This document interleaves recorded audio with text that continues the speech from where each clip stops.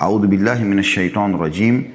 Ya ayyuhalladzina amanu la tattabi'u khutuwatis syaitan. Wa may yattabi' khutuwatis syaitan fa innahu ya'muru bil fahsya'i wal munkari. Hai orang-orang beriman, janganlah kamu mengikuti langkah-langkah syaitan.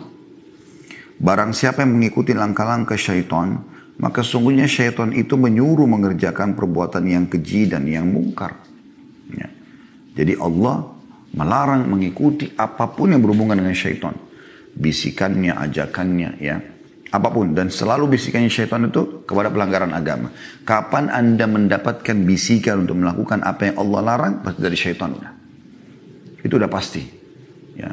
Disuruh berzina, disuruh berbohong, disuruh menipu, disuruh memukul, disuruh mencerca, disuruh memaki, disuruh memfitnah. Semuanya syaitan.